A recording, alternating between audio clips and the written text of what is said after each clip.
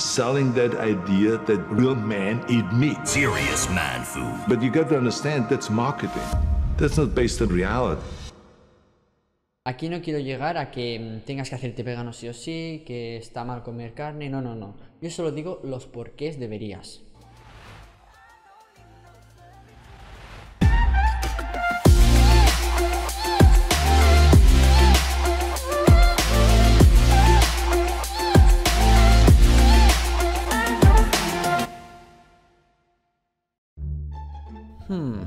A ver qué me toca hoy hacer. ¡Eh! ¿Qué? ¿Qué haces aquí?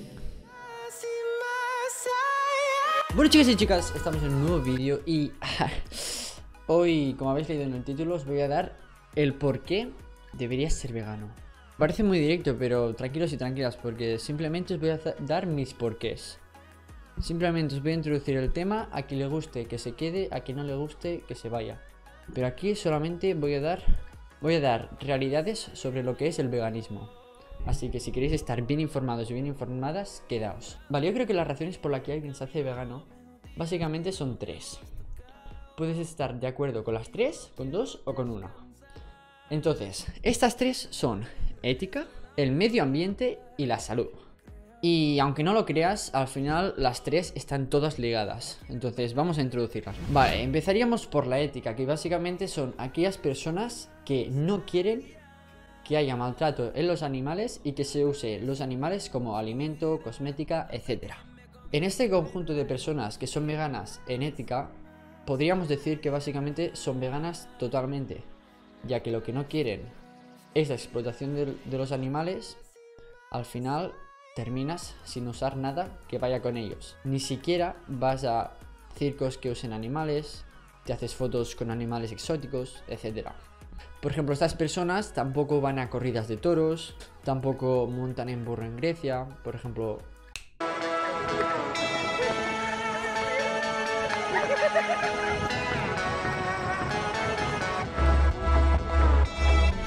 Esta persona que ha tenido un percance.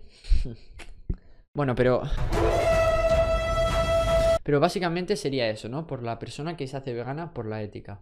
En esta ética lo que también dice es que los alimentos de origen animal no son necesarios para nuestro cuerpo, ya que nuestros intestinos no están hechos como los de un león, que es un carnívoro nato, ha nacido para comer otras especies.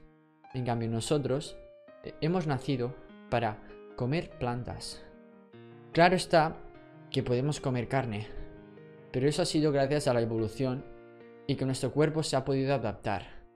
Pero aún así, ya lo veremos más adelante, nuestro cuerpo no está 100% hecho para comer carne y a veces puede ser hasta perjudicial. Además, hoy en día puedes llevar ropa vegetal, plástico, pero ¿de qué te sirve llevar ropa animal? No sirve de nada, le quitas una vida a un pobre animal que no te ha hecho nada que por llevar una ropa de un animal no te hace mejor persona. Bueno, y más o menos sería eso el caso de las personas que se hacen veganas por la ética. Las personas que se hacen veganas por el medio ambiente. Por dejar de contribuir a la causa que creo que es la que más deberíamos estar conscientes hoy en día y sobre todo las personas jóvenes, que es la contaminación. Hoy en día es verdad que la contaminación deriva de muchas cosas y no podemos encasillar solo al consumo de carne. Pero sí es verdad que el consumo de carne, la ganadería, es un factor clave para la contaminación. Porque tened en cuenta, tienen que usar campos para cultivar el alimento que le van a dar a los animales. Gastan en transporte para transportar el alimento de los animales y los animales. Y aparte, medio kilo de pollo equivale a 1960 litros de agua. Medio kilo de pollo. Y si os hablo del caso de medio kilo de vaca, equivale a 7000 litros de agua. Haced vuestros cálculos. ¿Cuánto soléis comer al día, a la semana, al mes, al año? transformar eso a litros No sé. Yo simplemente dejo el dato, vosotros hacéis vuestros cálculos, vuestros pensamientos. Ahí os lo dejo.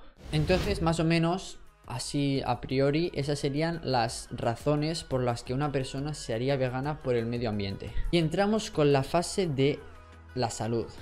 ¿Por qué una persona se hace vegana por la salud? Pues vamos a ello.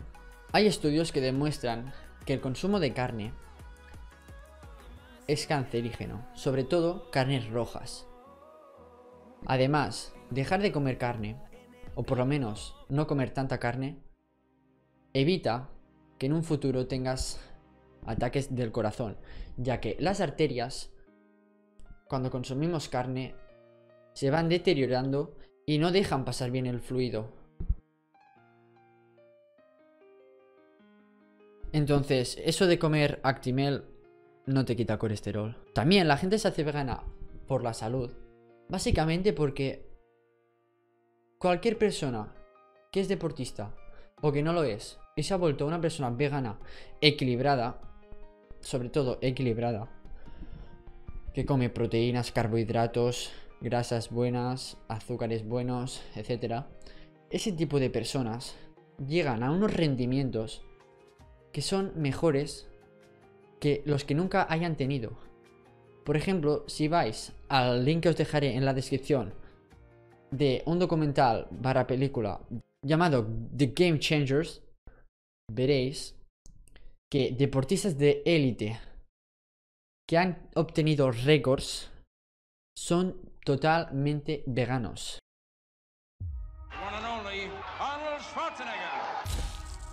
I ate a lot of meat. They showed us commercials Steak. That's what a man eats. selling that idea that real men eat meat. Serious man food. But you got to understand that's marketing. That's not based on reality. I've been teaching fighting techniques to government agencies for more than 15 years. Then I got injured. Unable to teach for at least six months, I spent more than a thousand hours studying science on recovery and nutrition and stumbled across a study about the Roman gladiators. The gladiators were predominantly vegetarian. How could the original professional fighters be so powerful, eating only plants? When I made the switch to a plant-based diet, I qualified for my third Olympic team.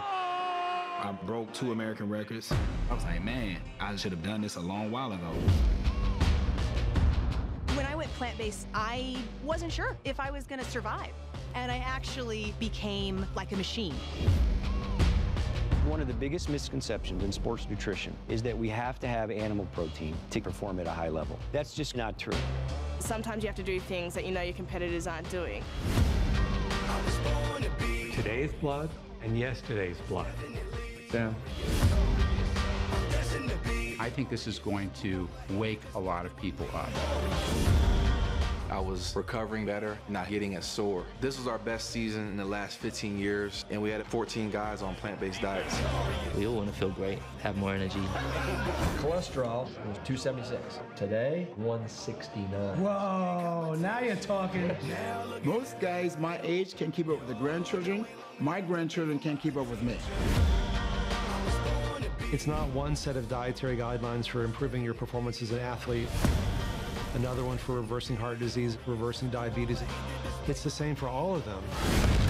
Someone asked me, how could you get as strong as an ox without eating any meat? And my answer was, have you ever seen an ox eating meat?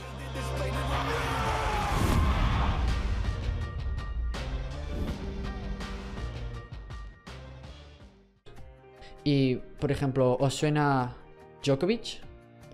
El famoso tenista. Exacto, es vegano. ¿Y sabes qué? Él dice que si no fuese vegano no lograría lo que logra. Os dejo el link, vosotros lo, si queréis lo miráis, dura una hora y media, es fácil de ver, hay subtítulos, enseña mucho sobre eh, qué es el veganismo y puede que os cambie un poco vuestra percepción sobre el consumo de carne o lo que nos han estipulado que es el consumo de carne. Y bueno, también quería hablaros eh, sobre un tema que a lo mejor a muchas personas no les interesa, pero bueno, es un dato curioso. Y básicamente es que eh, en el documental este de, de Game Changers hay una parte donde hacen una prueba donde un día les dan un burrito carnívoro a tres adolescentes. A tres jóvenes. Entonces, les miden la longitud de su miembro durante la noche. La dureza, longitud, duración. Eso se lo miden durante la noche. Hacen los estudios.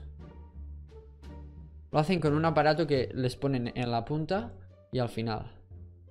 Hacen los estudios y salen los resultados. Y al día siguiente lo hacen exactamente lo mismo, pero les dan un burrito 100% vegano. Y los resultados os lo dejaré por aquí por pantalla. Y, y eso demuestra que ser vegano te hace ser más viril, básicamente. Que la tienes más grande que uno.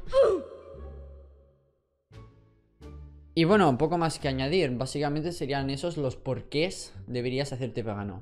Aquí no quiero llegar a que mm, tengas que hacerte vegano sí o sí, que está mal comer carne. No, no, no. Yo solo digo los porqués deberías. Pero eso ya viene de ti. Si quieres hacerte vegano, intentarlo, vegetariano, lo que sea, lo haces. Si quieres ser carnívoro, lo haces. Totalmente elegible, lo que quieras.